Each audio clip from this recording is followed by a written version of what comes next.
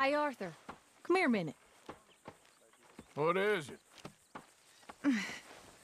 Can I ask you a favor? Probably not. Very funny. Would you do something with Jack?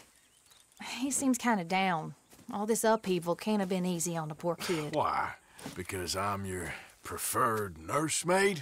Because he likes you, and, well, you know his father's useless. Okay. Thank you.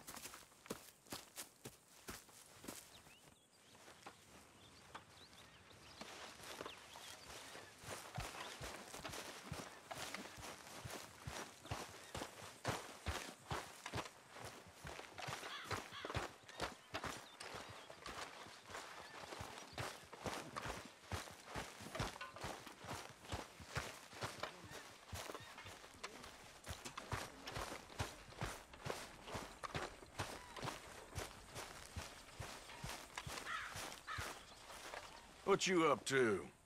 Playing, Anything fun? I guess. You want to come fishing with me? Fishing? Sure. You're... It's about time that you started to earn your cape. Okay, Good. Let's go get your pole then. Now, you do have a fishing pole, don't you? I sure do. Uncle Hosea made me one. Good. Well, let's go get it then. Go catch us some fish. yeah.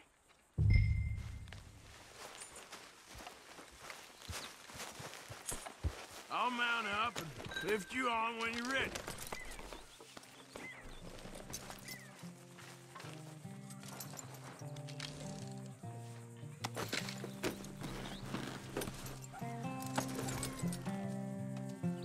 All right, hold on tight. So, where are we going? Just down to the river near here. We shouldn't go too far from camp. Oh, okay. You feeling better?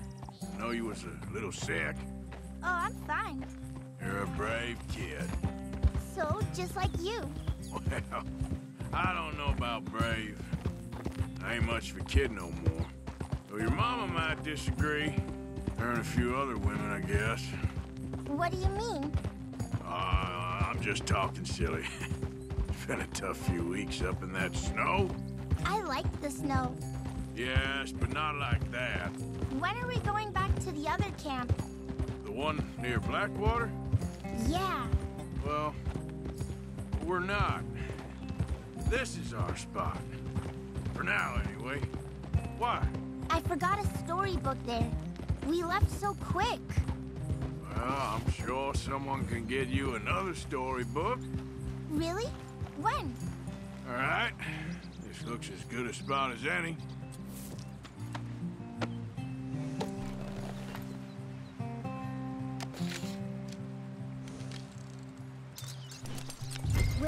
Stand, Uncle Arthur? Down by the shore. Come on, follow me. You show me where, Uncle Arthur.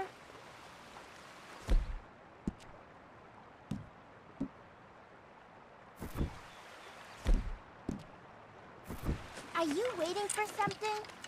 First, we need some bait.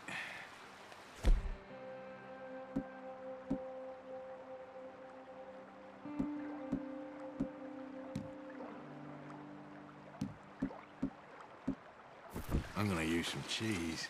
Cheese? Smellier the better. Now, cast your line.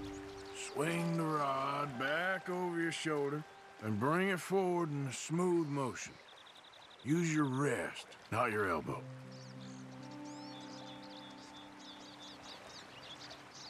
Are you okay there, Uncle Arthur?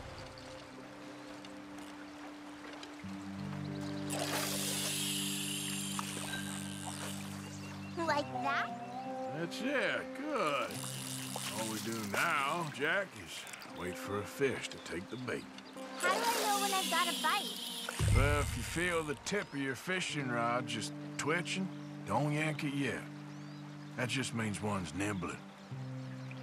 If you feel a hard tug, that's a fish going for the bait, so yank hard to hook it.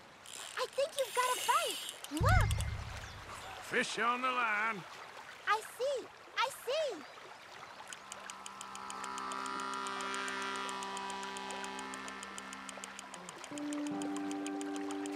You see him fighting there, Jack?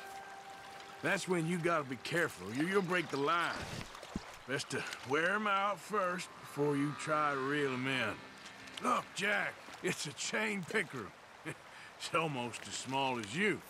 We should really throw these smaller ones back. Give him a chance to grow up a bit. Can I take a break from fishing? I want to make something. Okay.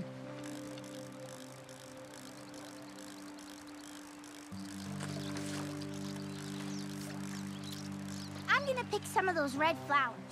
I'll be right back. See that cast, Jack?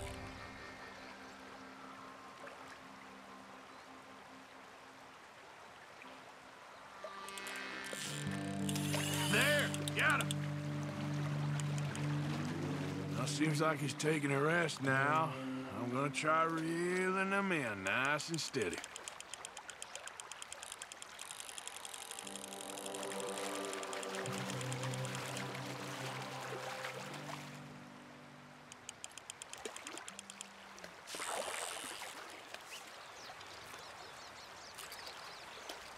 This one's a bluegill.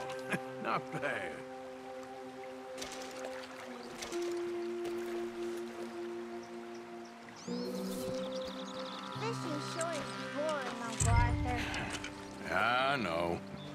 Boring as hell. But then, something happens. And you can get food for days. Really? If you're lucky. But until then...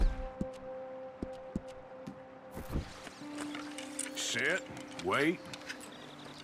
Try not to worry. It's good for you, It's good for you? I guess. Huh. Let's try again.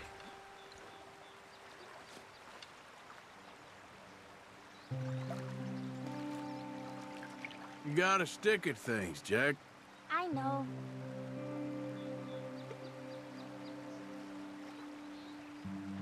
Something's tugging at your rod, Uncle Arthur. Got one, Jack.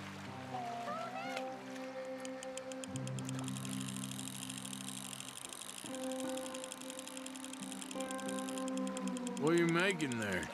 You'll see. It's a surprise.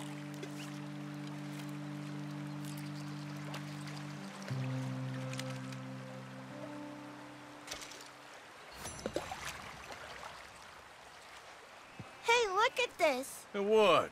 This necklace I made. Necklace? For Mama. Sure. What a fine young man. And in such complex circumstances. Arthur, isn't it? Arthur Morgan? Who are you? Yes, Arthur Morgan. Van der Linde's most trusted associate. You've read the files. Typical case. Orphaned street kid seduced by that maniac's silver tongue and matures into a degenerate murderer. Agent Milton? Agent Ross. Pinkerton Detective Agency, seconded to the United States government. Nice to finally meet. We know a lot about you. Do you? You're a wanted man, Mr. Morgan. There's $5,000 for your head alone. Five thousand dollars? For me? Can I turn myself in? We want Van der Linde. Old Dutch. I haven't seen him for months. That's so. Because I heard a guy fitting his description robbed a train belonging to Leviticus Cornwall up near Granite Pass. Oh, ain't that a little old-fashioned nowadays? Apparently not. Listen. This is my offer, Mr. Morgan. Bring in Van der Linde, and you have my word you won't swing. Oh, I ain't gonna swing anyways, Agent. Uh, Milton, you see, I haven't done anything wrong, aside from not playing the games to your rules. spare me the philosophy lesson. I've already heard it from Mac Callander. Mac Callander. He was pretty shot up by the time I got to him. So really, it was more of a mercy killing. Slow, but merciful. You enjoy being a rich man's toy, do you? I enjoy society, flaws and all. You people venerate savagery, and you will die. Savagely. All of you. Oh, we're all gonna die, Agent. Some of us sooner than others. Good day, Mr. Morgan. Goodbye. Enjoy your fishing, kid, while you still can. Who are they? No one to worry about, no one at all. Come on, let's pick up your things and get home.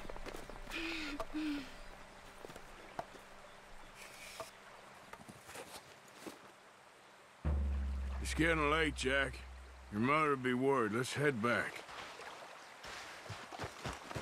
Come on, girl.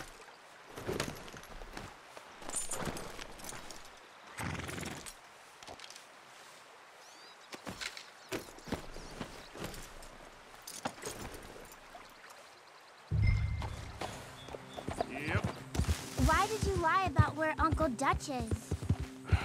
because... Well, because those are disagreeable men. And I don't want them to hurt him. What did they mean about Mac? Is he in jail? No, I don't uh, think so. I hope he's just fine where he is. Like I said, don't worry about them. The world is full of disagreeable men. That's why you got all of us, to protect you from folk like them.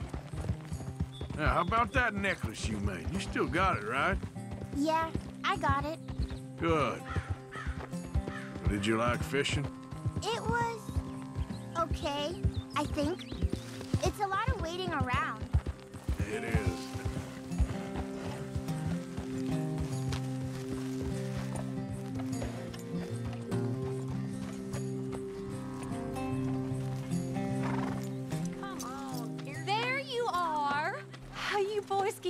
Getting? Great! We caught a fish, and I made you this necklace. Ain't that pretty? Ain't I the luckiest? Did you thank Uncle Arthur? No need. We had a good time. What's wrong? Nothing. Just met some folk. I better go speak with Dutch. Okay. Hey, you did real fine, kid. Thanks. We got a problem. What? I just met some guys out near the river. A fella named, um, Milton, and, uh, I don't remember the other fella's name. Ross. Milton and Ross. And? they are employees of the Pinkerton Detective Agency. And they know about the train, and they know we're here. Were you followed back here? No, they know we're near here. And they want you, Dutch. They offered me my freedom in exchange, they did. Why didn't you take it? Very funny. Well, what do we do now?